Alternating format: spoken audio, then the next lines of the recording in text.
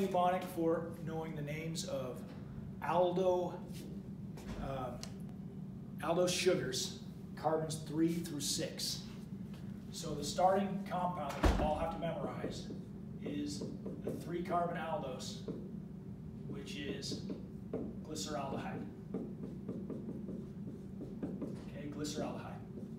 Now this is actually the compound that Emil Fischer used in determining his convention for uh, uh, stereoisomers.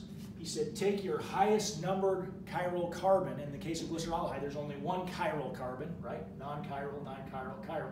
And if the OH is, and when you draw it in this Fischer projection, which remember, Fischer projection means that these, that these lines have three dimensions. So the ones coming out, uh, the horizontal ones are coming out towards you like a bow tie.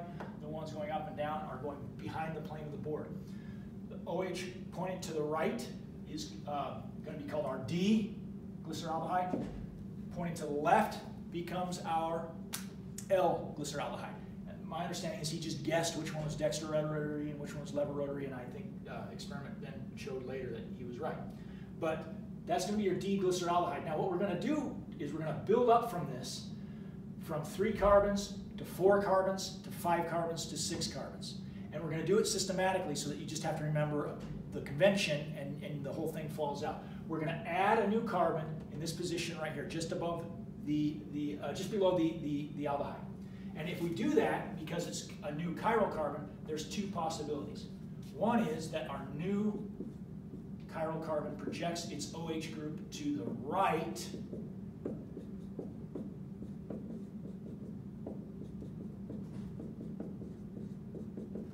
other is that it projects it to the left. Okay, so what did I just draw? I just drew the same compound we had before, the glyceraldehyde, the D-glyceraldehyde. But I added an extra sugar, or an extra carbon between the, uh, just below the um, aldehyde. And it has two possibilities. It can either project the OH to the right or it can project the OH to the left. These are both still D sugars because the highest numbered chiral carbon is still pointing to the right when the aldehyde is up on top. The Fischer projection convention still holds. These are bonds that are coming out toward you. And these up-down bonds are going back, back, back, all the way up and down. These are called D-erythrose and D-threose. Okay? If I wanted to make the next set, which would be my, my pentoses, I'm going to need to just add another one here. And each one of these is going to branch into two possibilities. So that my five carbon sugars, and now I'm going to start drawing them a little simpler, will look like this. I think I've got enough room. Here's my aldehydes.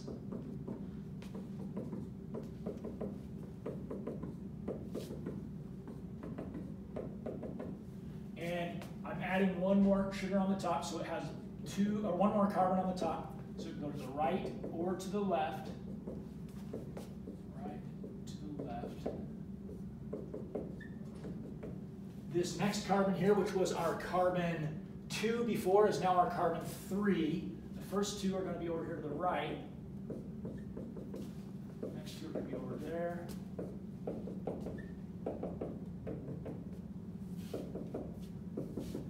And then the next ones are all going to be our highest number chiral carbons, which are going to be D.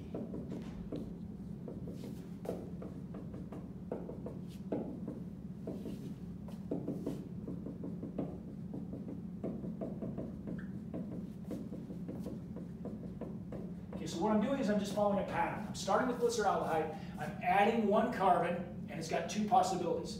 Then I'm taking each one of these guys, and they are branching, to add one more chiral carbon, one going to the right, one's going to the left, and these two are branching to add one more chiral carbon, one to the right, one to the left. I end up with every combination of aldopentose. There are four D aldopentoses, and their names are ribose, arabinose, lyxose, no, xylose, XY, that's, that's gonna be a, well, that's going to be in your gums, and lyxose. And they're all the D sugars. Now, why am I only paying attention to the D sugars? If you understand your stereochemistry, you're going to this is going to be a moot point, but a lot of people get confused on this. If you've got a D sugar, the L version of it is simply the mirror image of the whole molecule. It doesn't mean simply move this guy over to that side. If I move this guy over to that side, I will have an L sugar, but it won't be L ribose. It will be L something else. In fact, it would be L uh, lyxose because it would be the mirror image of the whole of the lyxose. So don't just change one guy and say that that must be the L version of that sugar. But if you understand that convention, that, a, that a, to go from a D to an L means a mirror image of each of our chiral carbons, then you, you don't have to memorize the L's. You can just memorize the D's. The D's are the more common uh, sugars that appear in nature. And so when we're all done, we're going to we're gonna split each of these because we're going to go all the way to hexose. So we're going to split each of these two more times to be able to give us eight possible. Uh, and now I'm not even going to draw the aldehydes anymore. It's just too much. Or the or the carbon sixes. I'm just going to do these four. One, two. It's carbon two, three, four, and five. Carbon five is our highest numbered chiral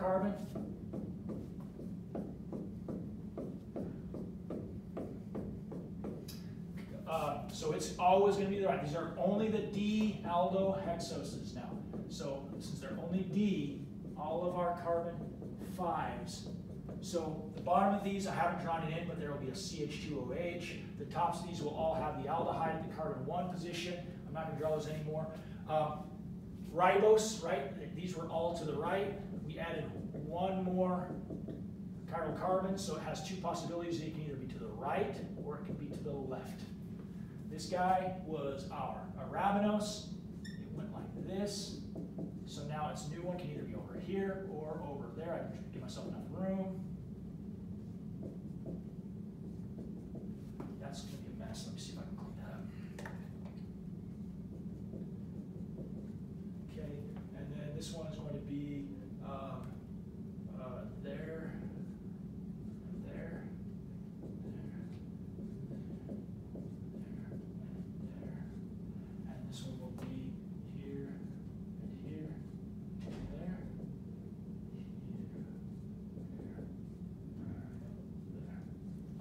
Every combination there is accounted for. And the names of the sugars are glucose. No, what am I talking about? It's not glucose. It's allose,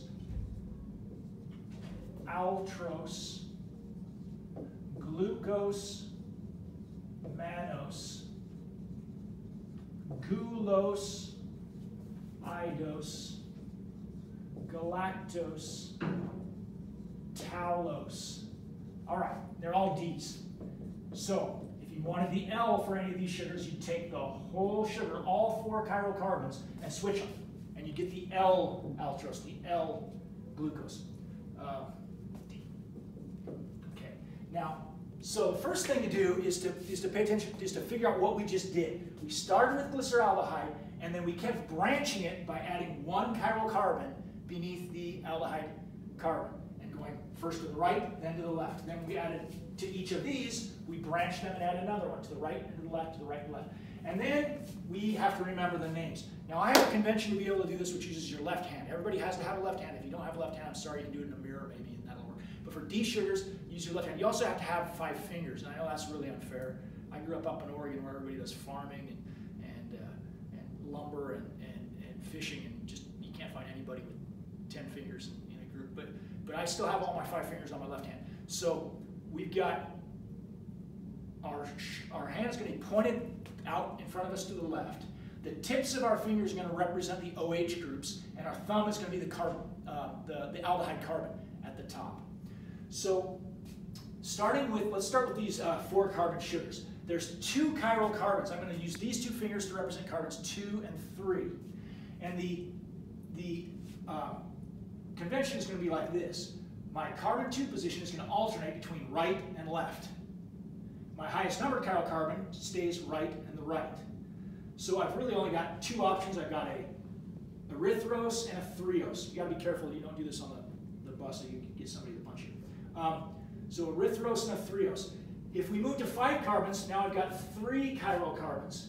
And I'm gonna go, the carbon two is gonna alternate, right, left, right, left. The carbon three is gonna alternate every other one, right, right, left, left. and the one on the bottom is going to stay the right. What I'm doing is I'm, I'm counting, I'm using my fingers to count up to four, where I really only have two positions. It's like a binary counting system. You go one, two, three, four. What just happened there? The, the first one, all of them are on the right, OH, OH, OH. This guy keeps alternating back and forth with each number that I count. This guy is alternating every other sugar. One, two, three, four. That way I hit all four combinations. And then I just have to remember some kind of mnemonic. My mnemonic for the two carbon sugars, we remember glyceraldehyde because it's the, it's the parent compound. My mnemonic for the um, two carbon sugars is erythrose, threose is ET, like ET phone home. Okay, in the early 80s, we all went and watched that movie, everybody cried, it was wonderful. ET, erythrose, threose. And remember, there's only two uh, uh, carbons, and we're only keeping track of the Ds, so just erythrose, threose, be careful where you do that one. And then we had the five carbon sugars. For this one, I pictured this little tiny dog that's got a really growly face with big teeth, and he's trying to like always bite everybody in the leg, and his name is Raxel. And you're like, slow down, Raxel, you're gonna get sued, okay? So it's Araxyl stands for ribose, arabinose, xylose, lyxose. I'm sorry that's a bad mnemonic, but it's worked for me for years. Araxyl has three chiral carbons because there's five total carbons, and we're going to count to four. We're going to go one, two, three, four. Ribose, araxo, arabinose, xylose, lyxose, which then allows us to be able to use all five of our fingers, or at least the four of, of these fingers, to be able to keep track of our four chiral carbons for the eight potential um, uh, sugars of, of the, uh, the aldose, aldohexoses. So we'll start with all four of them going this way. Now you're going to need to practice. This takes a little bit of finger dexterity. That top finger is going to alternate every single one. One, two, three, four, five, six, seven, eight. The next one is going to alternate every other one. One, two, three, four, five, six, seven, eight. This next finger, third finger, ring finger, one, two, three, four, five, six, seven, eight. And the last one just stays to the right because we're only keeping track of the D sugars because the L's are just the mirror images. So it's gonna, we've got to put it all together. This is going to take a little practice, but if you think about it, it's not that bad. We're going to go one, two. Now this guy's gone as far as it can, so it's going to go back, but this one's going to go three, four. Both of these have gone as far as they can. So five, six, seven, eight. If you, if you dissect that, this guy just went one, two, three, four, five, six, seven, eight. And this guy went one, two, three, four, five, six, seven, eight. 1, 2, 3, 4, 5, 6, 7, 8, and 1, 2, 3, 4, 5, 6, 7. 1, 2, 3, 4, 5, 6, 7, 8. It's not as hard as it looks. Keep practicing. And the mnemonic that goes with this goes like this. Point over here. All altruists gloomily, gloomily manufacture ghoul, like, like that's like a word that means like a ghost. There's an old word for like a ghoul in gallon tanks.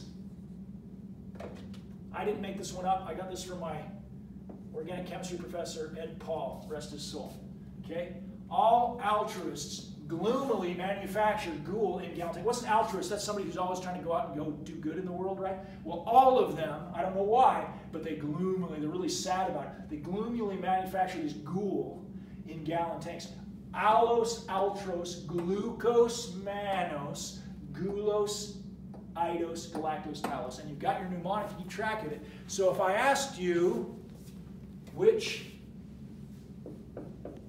sugar. I'm just making this up. I'm just picking some weird places to throw my OHs. Which sugar is this?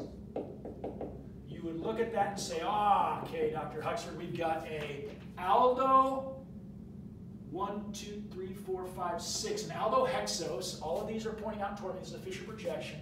I've got carbon 2 going that way, carbon 3 coming this way, carbon 4 coming this way, and carbon 4. It's a D-aldohexose in its linear Fischer form. It's all altruists gloomily manufacture ghoul in gout. It's galactose.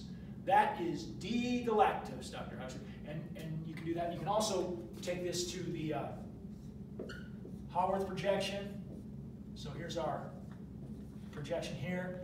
Uh, take your, your fingers, your galactose, if you want to turn this into a, a pyranose form uh, uh, D-galactose, you would take your hand and turn that on its side there's our carbon 2.